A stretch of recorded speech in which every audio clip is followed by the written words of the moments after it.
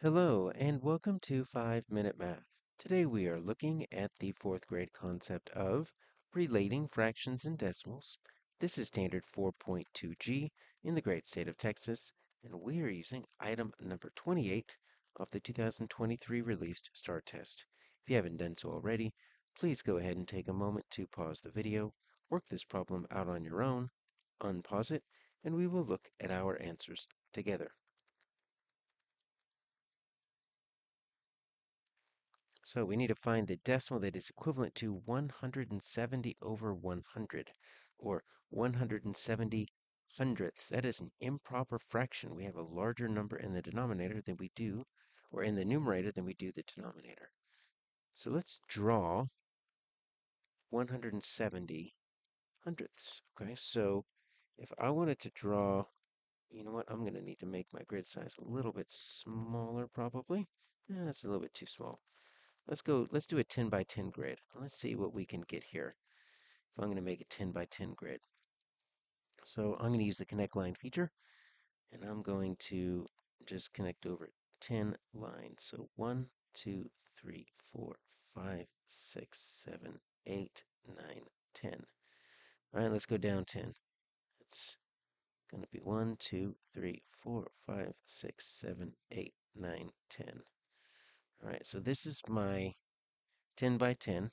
This is a represents, you know, uh, 100, right?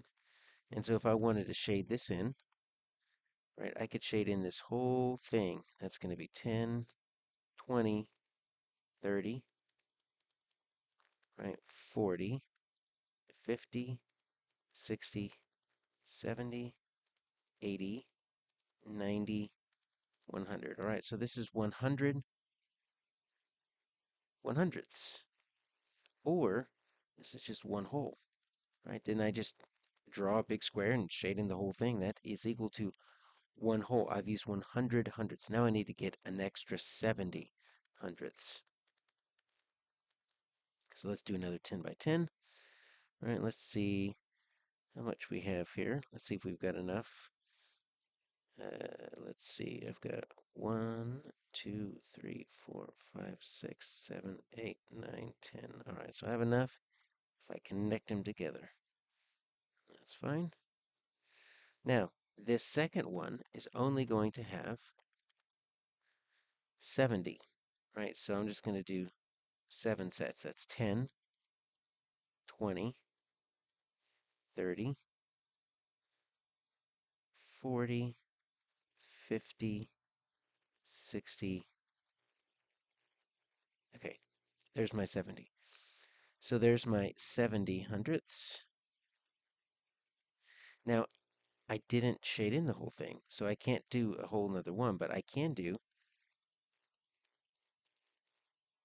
70 hundredths, right? Since I was doing hundredths, right? Here's my tenths place. There's my hundredths place right there. Okay, so then if I put those two together, right, I would get 1 and 70 hundredths. Now, that's one way to solve it. Here is another way to solve it. So let's say I want to just make a place value chart, okay? So I'm going to make a place value chart, and it goes to the hundreds, so I'll go to the hundreds. I'm going to write the values underneath each one. That's my ones. That's my tenths. That's my hundredths. Now, when I write 170, what I know is that I want my last digit, right? Uh, since there's no decimal, if there was a decimal up there, that would change things. But since my last digit is a whole number, I want my last digit to go in the hundreds place, right? So what I do is I put my zero right there. And then once I've got that in the hundredths place, I just build the rest of the number, one digit for each spot. So that's how you can say 170 hundredths, but really that looks like if we take a look at it it's a, one is a whole number, you have a seven tenths, but a lot of times we end up dropping that zero. We don't need that because that's really seven tenths, right? We could say this is seven tenths if we look at the tenths all as one big unit. So here we go. My answer here is B, one and seven tenths.